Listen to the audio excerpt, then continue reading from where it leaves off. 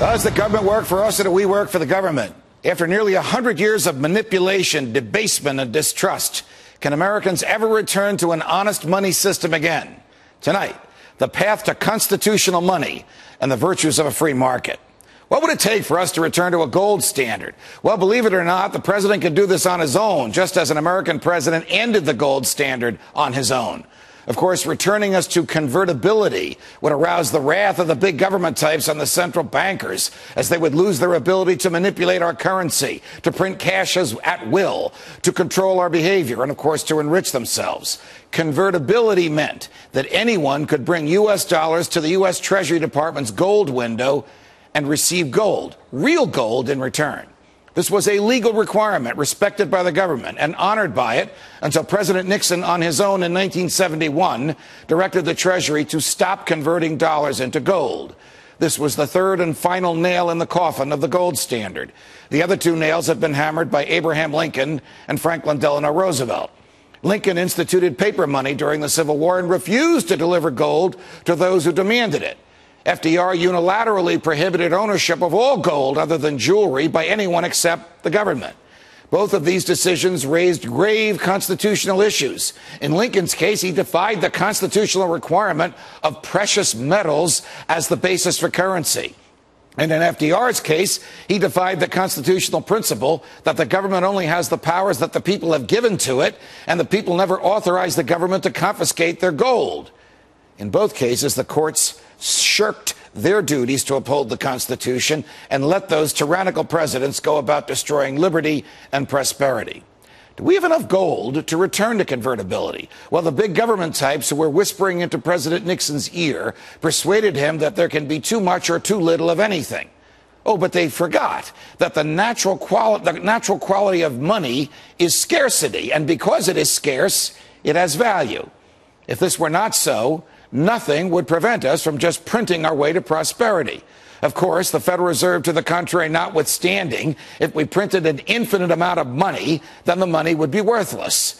That's why gold and silver are valuable and will be traded, despite all the heavy laws and thieving taxation that renders gold owners as outlaws in many ways. That's also why countries that have tried to print their way to prosperity have ended up with wheelbarrows of cash needed to buy a loaf of bread.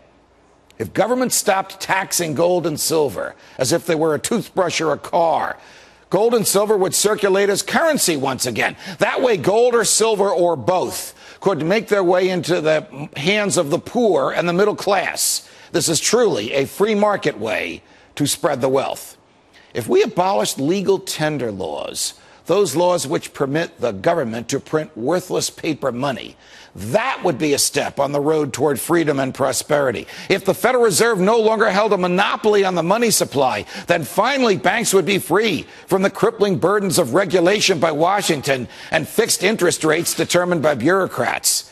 Then we would see real competition among the banks for your business. Banks would only lend money that they had on deposit. Abolishing legal tender laws means that a private bank can mint a coin and create a banknote similar to how the Fed does it only this time it would be backed by gold.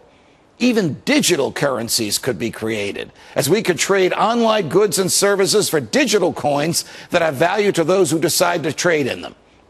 Think of it. We could have a new economy, no longer weighed down by the ancient institutions in Washington and regulated only by fair competition, the laws of supply and demand, and a government that protected us only from force and from fraud. Finally, when gold and silver become currencies again, as the Constitution clearly requires, when government issued paper money is abolished, we can begin to clean up the mess that has become the American banking system. Banks, for example, will no longer be required to have FDIC insurance and all the costs and regulations that accompany it. Think about it. The federal government has no business insuring your money in somebody else's bank. Instead, private insurance companies would come in and insure that money. Liberty means opportunity for more private enterprise and a government that does less, regulates less, and extracts less from taxpayers. When all this happens, then we will see the opposite of what has happened when the feds devalued the dollar by separating it from gold. A gold backed currency, as I write in my book, it is dangerous to be right when the government is wrong, will chase the worthless currency from the marketplace. Stated differently, It would be the free market's way of driving the money changers from the temple and the constitutional way of ridding ourselves of the chains the government and its bankers have shackled upon us. From New York, defending